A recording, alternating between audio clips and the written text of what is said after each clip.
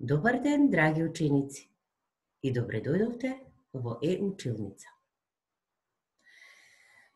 Денес ќе презентирам видеолекцијата која е насловена како секунда, минута, час, читање на времето до половина час на дигитален и аналоген часовник.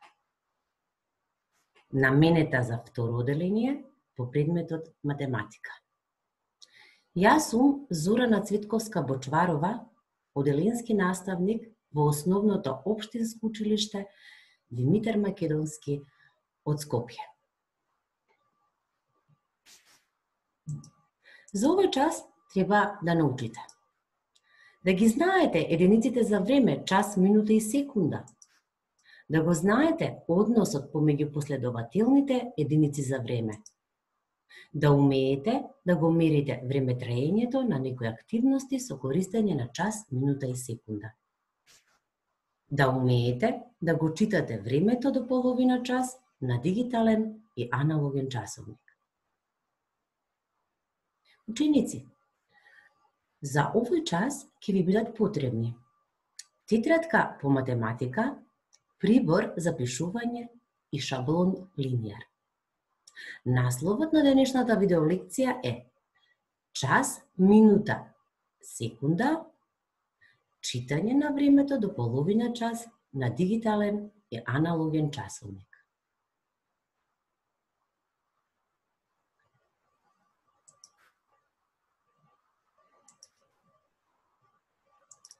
Драги ученици, многу се радувам што се сретнав со вас.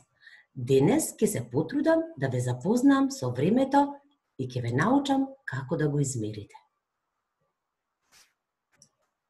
За сметање на долги временски интервали, луѓето користат најразлични календари.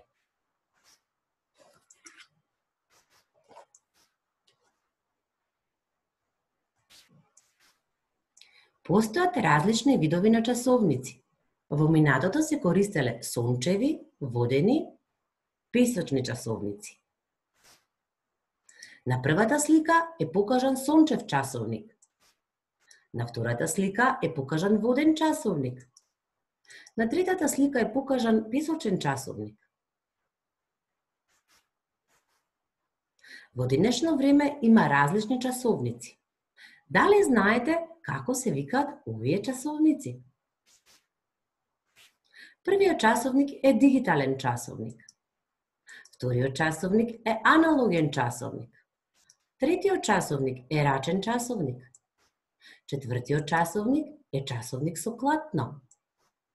Петиот часовник е часовник со кукавица. Шестиот часовник е часовник будилник.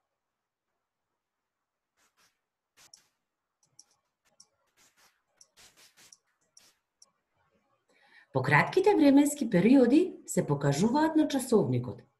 Кај часовникот има три стрелки. Кратката стрелка ги покажува часовите, а долгата – минутите. Тенката долга стрелка, која е најчесто со друга боја, ги покажува секундите.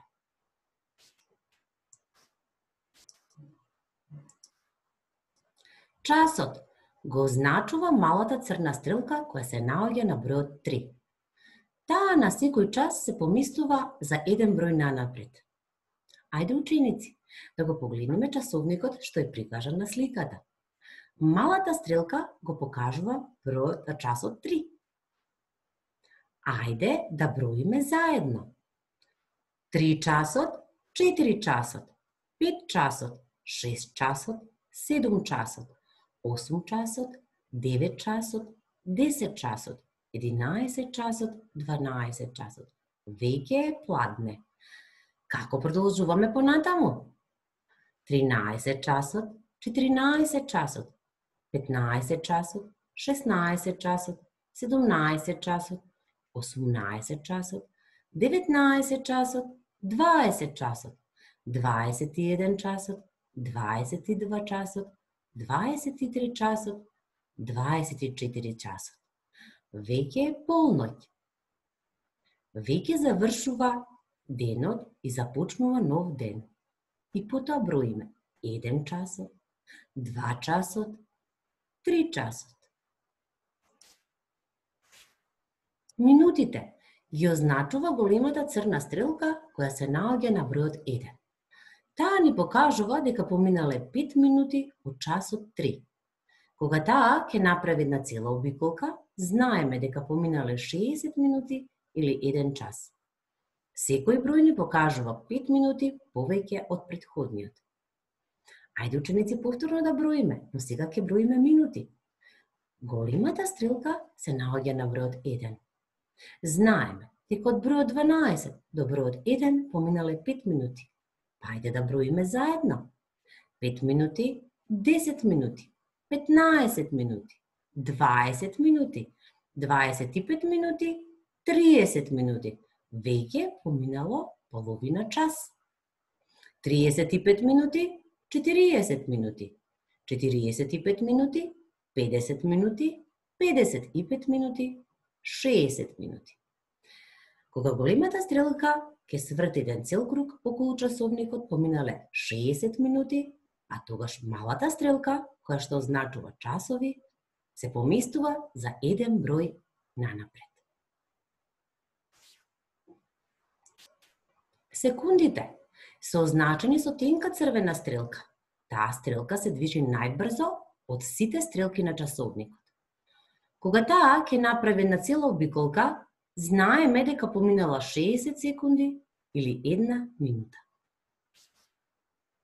Дадениот часовник ни покажува дека е 3 часот, 5 минути и 40 секунди. да го пределиме времето на аналогните часовници. На првиот часовник времето покажува 5 часот предпладне или 17 часот попладне, односно малата стрелка е на бројот 5, големата стрелка е на бројот 12. На вториот часовник времето покажува 7 часот предпладне или 19 часот подпладне или малата стрелка е на бројот 7, а големата стрелка е на бројот 12.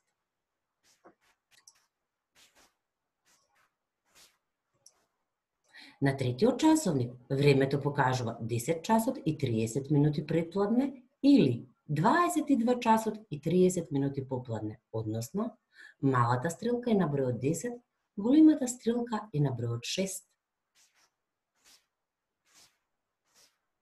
На четвртиот часовник времето покажува 9 часот и 30 минути предпладне или 21 часот и 30 минути попладне, односно малата стрелка е на бројот 9, големата стрелка е на бројот 6.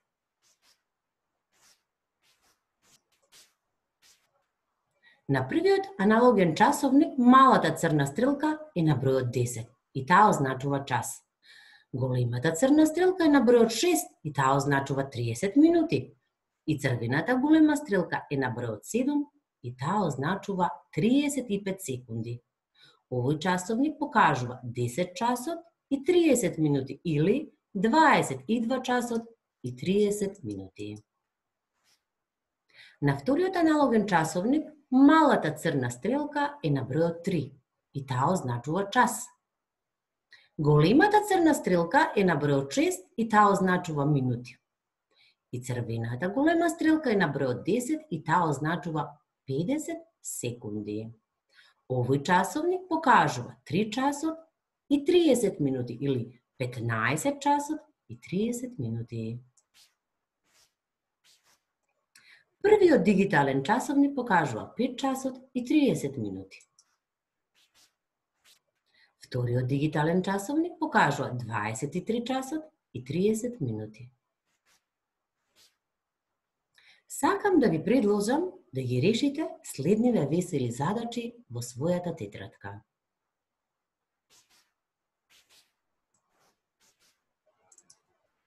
Првата задача гласи вака. Возот од станицата во Скопје до станицата во Прилеп патувал 2 часа. Погледнете во кое време возот тргнал од станицата во Скопје и обележете го времето на часовникот во кое време тој пристигнал на станицата во Прилеп. Во колку часот возот пристигнал во Прилеп? Ученици, ке ве молам да ја запрете сега овде оваа видеолекција и во своите тетрадки да се потрудите да ја решите оваа задача. Со помош на шаблон линијар нацртајте круг и правоаголник, за да представите аналоген и дигитален часовник, а потоа означете бројки и стрелки на аналогниот часовник и само бројки на дигиталниот часовник. Потрудите се да ја решите поставената задача од предходниот слайд. Односно, да го означите точното време кога пристигнал возот на станицата во Прилеп.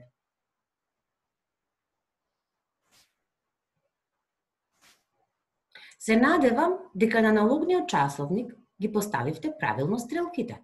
Малата стрелка, која го значува часот, ја поставивте на број 4, а големата стрелка, која ги означува минутите, ја поставивте на бројот 12. Исто така, и на дигиталниот часовник се надевам дека запишавте 4 часот.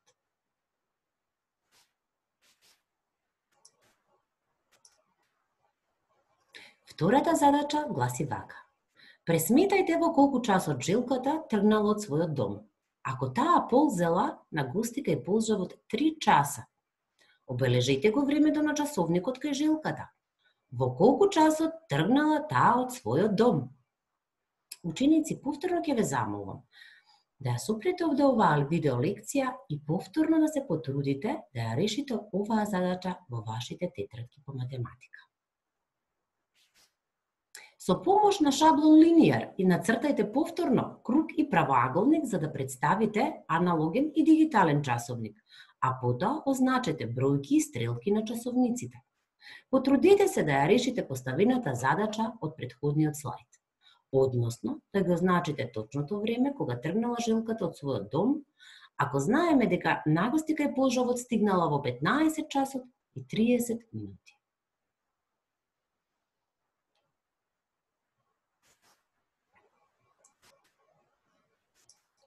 Се надевам дека ги поставивте правилно стрелките на налогниот часовник. Малата стрелка, која ги означува часовите, ја поставивте на бројот 12.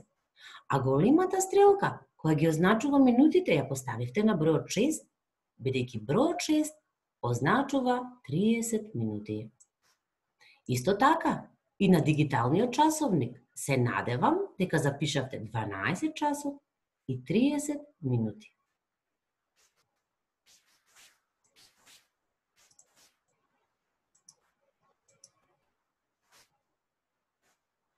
Третата задача гласи вака. Пеперутката ги поканила своите другари на роден ден во 11 часот. Определете го времето кој во колку часот пристигнал.